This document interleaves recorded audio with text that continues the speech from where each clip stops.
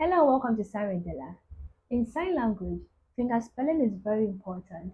So in this video, we're going to learn how to finger spell. This is the sign for finger spell. Finger spell. If you're new to my channel, subscribe and let's get started.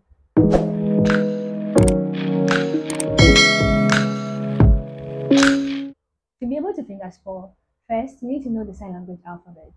I have a video on that, so I'll leave the link in the description so you can watch that video after this video. Now let's learn how to finger spell. We are going to use the dominant hand. My right is my dominant, so you're going to keep it upright, close to your chest, and relax. Don't be too rigid, just relax, like this. When you're finger spelling, don't bounce your hand or move it horizontally. For example, if you want to finger spell cat, don't do cat or cat. Instead, keep your hand upright and then your finger spell cat.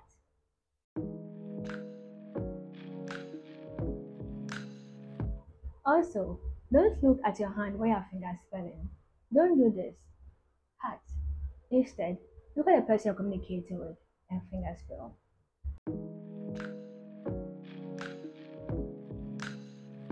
When you're finger spelling, pronounce the word and not the individual letters. For example, you want to sign I saw a black cat while you finger spell the cat. Do I saw a black cat. Don't do I saw a black C18. Cat. C18. To finger spell an abbreviation, move each letter in a small clockwise circle. For example, UN.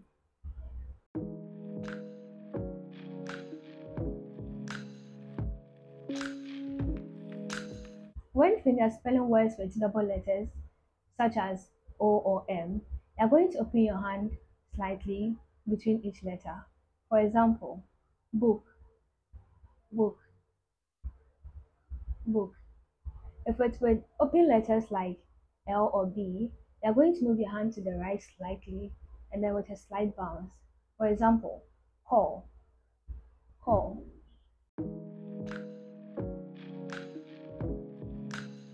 If the word you are signing has a period in it, you're going to pinch your thumb and your index finger to sign the period.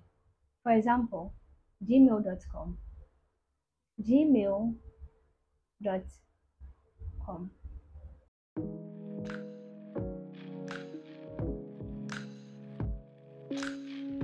If the word is hyphenated, are going to use the index finger and the thumb to draw the hyphen. Example, on site, on hyphen site.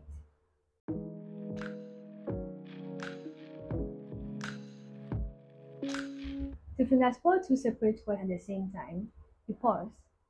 Example, ice cream, ice cream.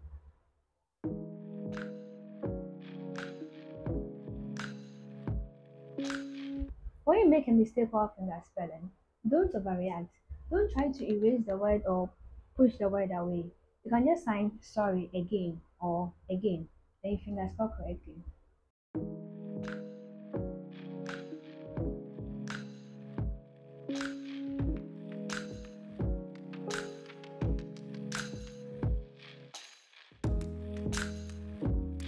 That's all for this video. In our next video, we're going to learn when to finger spell. So subscribe to my channel, like, leave a comment, and share this video.